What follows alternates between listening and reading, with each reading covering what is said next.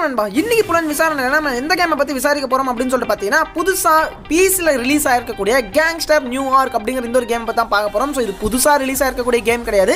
Game of கம்பெனியில் release ஆன ஒரு கேம் அப்படின்னு வேணால் சொல்லிக்கலாம். ஸோ ரிலீஸ் ஆகி கிட்டத்தட்ட ஒரு வருஷத்துக்கு மேலே ஆச்சு. சரி வாங்க இந்த கேமில் என்னென்ன ஃபியூச்சர்ஸ்லாம் இருக்குது இது மொபைலுக்கு வருமா வராதா அப்படிங்கிற விஷயங்கள். அப்புறம் பிசியில் இந்த கேம் எப்படி வந்து பார்த்தீங்கன்னா ரன் ஆகிட்டு இருக்கு? பிசியில் வந்து பார்த்தீங்கன்னா பரவாயில்லையா? எத்தனை ஜிபி என்னென்ன வந்து பார்த்தீங்கன்னா சிஸ்டம் ரெக்குயர்மெண்ட்ஸ் நமக்கு வேணும் அப்படிங்கிற எல்லா டீட்டெயில்ஸும் இந்த வீடியோவில் பார்க்கலாம். ஸோ வாங்க காய்ஸ் வீடியோக்குள்ளார போயிடலாம்.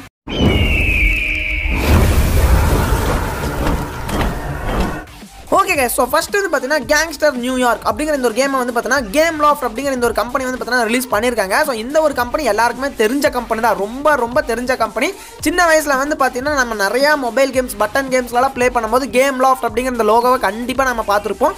ஸோ நீங்கள் கண்டிப்பாக நீங்கள் சின்ன வயசில் பார்த்துருப்பீங்கன்னு நினைக்கிறேன். ஸோ இந்த கேம் லாஃப்ட் கம்பெனி வந்து பார்த்தீங்கன்னா இதுக்கு முன்னாடி என்னென்ன ஓப்பன் வேர்ல்டு கேம் ரிலீஸ் பண்ணியிருக்காங்க அப்படின்னு சொல்லிட்டு பார்த்தீங்கன்னா கேங்ஸ்டர் வெகாஸ் அப்படின்னு சொல்லிட்டு மொபைலில் ரிலீஸ் பண்ணியிருக்காங்க. அதுக்கப்புறமா கேங்ஸ்டர் நியூ ஆர்லியான்ஸ் அப்படின்னு சொல்லிட்டு மொபைலில் ரெண்டு பெரிய கேம்ஸ் வந்து பார்த்தீங்கன்னா ரிலீஸ் பண்ணாங்க. ஸோ அந்த ரெண்டு கேம்ஸ் எப்படி ப்ரோ போச்சு அப்படின்னு சொல்லி கேட்டிங்கன்னா கேங்ஸ்டர் வெகாஸ் ஓரளவுக்கு போச்சு. பட் கேங்ஸ்டர் நியூ ஆர்லியான்ஸ் அவங்க நினச்ச அளவுக்கு போகலை அப்படின்னு தான் சொல்லி ஆகணும் பட் ரெண்டுமே வந்து பார்த்தீங்கன்னா ஒரு சுமாரான ஒரு ஓப்பன் வேர்ல்டு கேம் அப்படின்னு தான் சொல்லி ஆகணும் இப்போ ரிலீஸ் இருக்கக்கூடிய கேங்ஸ்டர் நியூயார்க் அப்படிங்கிற இந்த ஒரு கேம் ஒரு ஓப்பன் வேர்ல்டு கேம் ப்ரோ அப்படின்னு சொல்லி கேட்டிங்கன்னா ஹண்ட்ரட் பர்சன்டேஜ் இது ஒரு ஓப்பன் வேர்ல்டு கேம் தான். ஸோ இந்த ஒரு கேம் எப்படி ப்ரோ இருக்குது எந்த அளவுக்கு வந்து பார்த்தீங்கன்னா பிசியில் ரன் ஆகுது அப்படின்னு சொல்லிட்டு பார்த்தீங்கன்னா இதோட சைஸ் வந்து பார்த்தீங்கன்னா கிட்டத்தட்ட நாலு ஜிபிக்கு உள்ளே தான் வருது.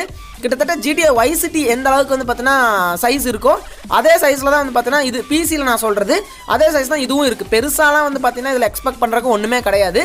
அது அதுக்கப்புறமா இதோட கிராஃபிக்ஸ் எப்படி இருக்குது அப்படின்னு சொல்லிட்டு கேட்டிங்கன்னா கிராஃபிக்ஸ் வேணும்னா ஓரளவுக்கு பரவாயில்ல. ஃபோர் ஜிபி பிசியில் வந்து பார்த்தீங்கன்னா கொடுத்து ஏற்றுறதுக்கு கிராஃபிக்ஸ் வேணால் வந்து பார்த்தீங்கன்னா ஒரு ஒர்த்தான ஒரு கிராஃபிக்ஸ் அதுவும் ரொம்ப சூப்பர் ஜிடிஏ ஃபைவ் அளவுக்கு அப்படின்லாம் சொல்ல முடியாது.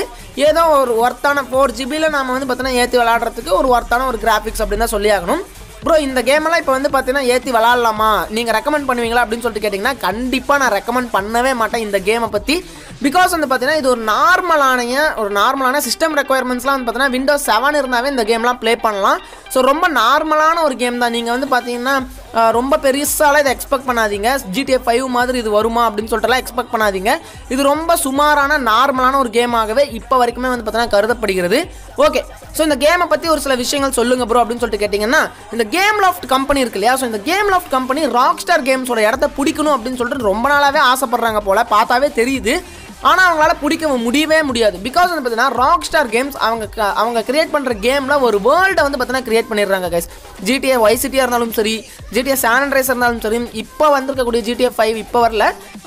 லேட்டஸ்ட்டாக வந்தக்கூடிய ஜிடிஏ ஃபைவ் இது எல்லாத்தையுமே நீங்கள் கம்பேர் பண்ணி பார்த்தா கூட அதில் ஒரு வேர்ல்டாக இருக்குது ஸோ ஆனால் வந்து பார்த்தீங்கன்னா கேம் லாஃப்ட்டில் ஒரு சிட்டி மட்டுமே வந்து பார்த்தீங்கன்னா உருவாக்குறாங்க. அதுதான் வந்து பார்த்தீங்கன்னா இவங்க ரெண்டு பேர்த்துக்கும் இருக்கக்கூடிய டிஃப்ரென்ஸ் ஸோ ராக் ஸ்டார் கேம்ஸை நீங்கள் எடுத்துக்கிட்டிங்கன்னா ஒரு சிட்டி மட்டும் இருக்காது. பக்கத்துலேயே நாலு சிட்டி இருக்கும். அந்த நாலு சிட்டிக்கும் போயிட்டு வர்றதுக்கு ஏகப்பட்ட தூரங்கள் இருக்கும். நாம் வந்து பார்த்தீங்கன்னா ஒரு ஒரு வேர்ல்டுலேயே சுற்றலாம் ஒரு உலகமே நமக்காக கொடுக்கப்பட்ட மாதிரி இருக்கும். பட் அந்த ஒரு உலகத்தை வந்து பார்த்தீங்கன்னா நம்மளால் கேம் லாஃப்ட் கம்பெனியும் அந்த கேம்ஸில் வந்து பார்த்தீங்கன்னா பார்க்க முடியாது. ஒரே ஒரு சிட்டி மட்டும் கொடுத்துருப்பாங்க. ஸோ அது நியூயார்க் சிட்டியாக இருக்கலாம்.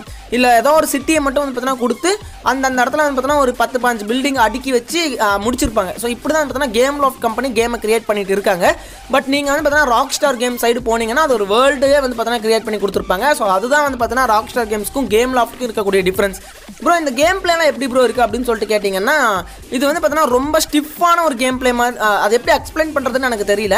ஸோ நம்ம வந்து பார்த்தீங்கன்னா ஃப்ரீயாக வந்து பார்த்தீங்கன்னா ப்ளே பண்ண முடியாது. ஸோ இந்த மாதிரி கேம்ஸ் வந்து பார்த்தீங்கன்னா ஒரு மாதிரி ஒரு கட்டுப்பாடாக விளாடுற மாதிரி இருக்கும். அதை நீங்கள் ப்ளே பண்ணி பார்த்தா அந்த ஒரு அன்கம்ஃபர்டபுள்னஸ் உங்களுக்கு புரியும்.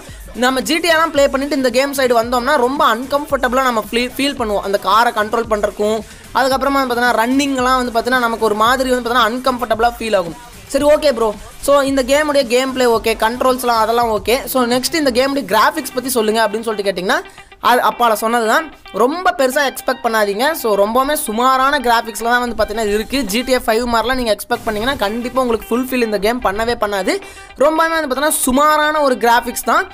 ஜிடிஏ கேங்ஸ்டர் வெகாஸ் இருக்கு இல்லையா? ஸோ அது வந்து பார்த்தீங்கன்னா நீங்கள் மொபைலில் ப்ளே பண்ணியிருக்கீங்க அதுவே ஹை கிராஃபிக்ஸில் வச்சு நீங்கள் வந்து பார்த்தீங்கன்னா பிசியில் ப்ளே பண்ணால் எப்படி இருக்குமோ அந்த மாதிரி அதை விட கொஞ்சம் பெட்டராக இருக்கும்னு சொல்லலாம். இந்த கேங்ஸ்டர் நியூயார்க் ஸோ இதில் ஏகப்பட்ட நியூ ஃபியூச்சர்ஸ் வந்து பார்த்தீங்கன்னா கொடுத்துருக்காங்க கைஸ் அது வந்து பார்த்தீங்கன்னா ஒர்த்தான ஒரு விஷயம் தான். புதுசாக நிறைய கேஜெட்ஸ்லாம் இன்ட்ரடியூஸ் பண்ணியிருக்காங்க கன்ஸு அதுக்கப்புறமா வந்து பார்த்தீங்கன்னா ஜெட் ஜெட் பேக்கு இதெல்லாமே வந்து பார்த்தீங்கன்னா புதுசாக இன்ட்ரடியூஸ் பண்ணியிருக்காங்க ஓகே ஸோ இப்போ கேங்ஸ்டர் நியூயார்க் அப்படிங்கிற இந்த கேம் வந்துருச்சு ப்ரோ ஓகே சூப்பர் இந்த கேமுடைய ஸ்டோரி என்ன? இப்போ எல்லா கேம்ஸ்லையுமே பார்த்தீங்கன்னா ஒரு அடிப்படை ஸ்டோரி இருக்கும். அந்த ஸ்டோரியை பொறுத்து தான் நம்ம அந்த டாஸ்க்கெல்லாம் முடிப்போம். இந்த கேங்ஸ்டர் நியூயார்க்கில் இருக்கக்கூடிய ஸ்டோரி என்ன ப்ரோ அப்படின்னு சொல்லிட்டு கேட்டிங்கன்னா ஒன்றும் பெரிய ஸ்டோரியே இந்த கேமில் இல்லை கைஸ் கேங்ஸ்டர் நியூயார்க் அதாவது நியூயார்க்கில் நடக்கக்கூடிய ஒரு விஷயத்தை தான் பார்த்தீங்கன்னா இதில் வச்சுருக்காங்க. என்னென்னா நியூயார்க்கில் வந்து பார்த்தீங்கன்னா அரோரா அப்படிங்கிற ஒரு கம்பெனி வந்து பார்த்தீங்கன்னா நியூயார்க் போலீஸ் டிபார்ட்மெண்ட் இருக்கு இல்லையா? அதாவது என்ஒய்பிடி அப்படின்னு சொல்லுவாங்க. நியூயார்க் போலீஸ் டிபார்ட்மெண்ட் அந்த போலீஸ் டிபார்ட்மெண்ட்டே தன்னோட கைக்குள்ளே கொண்டு வந்துடுறாங்க. யாருன்னா அரோரா அப்படின்னு சொல்லிட்டு ஒரு கார்பரேஷன் வந்து பார்த்தீங்கன்னா கொண்டு வந்துடுறாங்க.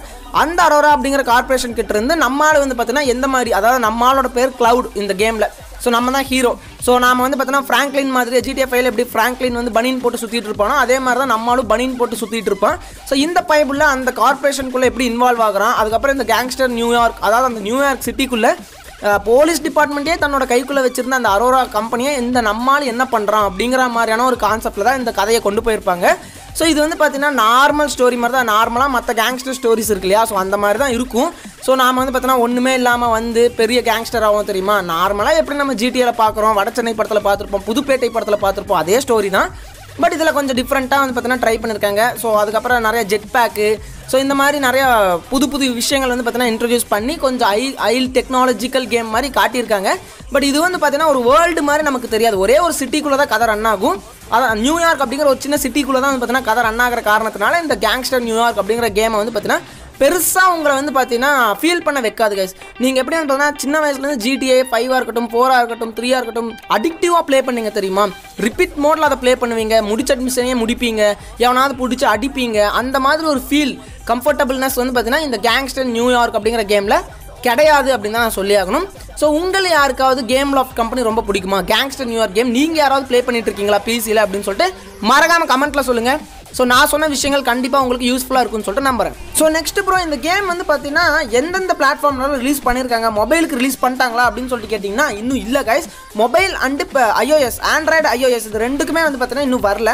ஸோ மற்ற எல்லா பிளாட்ஃபார்ம்ஸ்லையுமே வந்து பார்த்தீங்கன்னா இந்த கேமை ரிலீஸ் பண்ணிட்டாங்க. நம்ம கேம் லாப் கம்பெனி இன்னும் ஏன் ப்ரோ மொபைலுக்கு வந்து பார்த்தீங்கன்னா ரிலீஸ் பண்ணாமல் இருக்காங்க அப்படின்னு சொல்லிட்டு கேட்டிங்கன்னா ஆண்ட்ராய்டு அண்ட் ஐஓஎஸ் அதை அதை பற்றி ஏன் கேட்டிங்கன்னா இந்த மாதிரி வந்து ஆல்ரெடி கேங்ஸ்டர் வெகாஸ் இருக்குது கேங்ஸ்டர் நியூ ஆர்லியன்ஸ் வந்து பார்த்தீங்கன்னா ஆல்ரெடி கேம் லாப் கம்பெனியுடைய கேம்ஸ் ஓப்பன் வேர்ல்டு கேம்ஸ் வந்து பார்த்தீங்கன்னா ஆண்ட்ராய்டில் அவைலபிளாகவே இருக்குது அப்படி இருக்கும்போது இப்போ தான் பிசிலே வந்து பார்த்தீங்கன்னா ரிலீஸ் பண்ணியிருக்காங்க ஒன் இயர் தான் ஆகுது. கேங்ஸ்டர் நியூயார்க் ஸோ பிசியில் வந்து பார்த்தீங்கன்னா எந்த அளவுக்கு இது பெர்ஃபார்ம் பண்ணுது அப்படின்னு சொல்லிட்டு கொஞ்ச நாள் பார்ப்பாங்க. ஸோ நல்லா போச்சு அப்படின்னா இந்த கேம் வந்து பார்த்தீங்கன்னா இப்போ எப்படி ஜிடிஎஸ் ஒய் சிட்டி இதெல்லாம் வந்து பார்த்தீங்கன்னா தட்டி வீசிட்டு போயிடுச்சு பிசியில் ஸோ அதுக்கப்புறமா அதை வந்து பார்த்தீங்கன்னா பிஎஸ் ஃபோர்லாம் வர வர பிஎஸ் ஃபைவ்லாம் வர வர நாம் வந்து பார்த்தீங்கன்னா ஜிடிஎஃப் ஒய்சிட்டி யாரும் ப்ளே பண்ண போகிறது கிடையாது. அதனால் நாம் அதை வந்து பார்த்தீங்கன்னா மொபைலுக்கு கன்வெர்ட் பண்ணி மொபைல் பிளேயர்ஸ்க்கு வந்து பார்த்தீங்கன்னா ரிலீஸ் பண்ணலாம்னு சொல்லிட்டு பண்ணாங்க இல்லையா? அதே மெத்தட் தான் கேங்ஸ்டர் நியூயார்க் வந்து பார்த்தீங்கன்னா இப்போ பிசியில் ரிலீஸ் பண்ணியிருக்காங்க. இதோட பெர்ஃபார்மன்ஸ் எப்படி இருக்குன்னு சொல்லிட்டு செக் பண்ணுவாங்க. ஸோ எனக்கு தெரிஞ்ச வரைக்கும் இதோட பெர்ஃபார்மன்ஸ் ரொம்ப பெருசாலாம் வந்து பார்த்தீங்கன்னா போக போகிறது கிடையாது.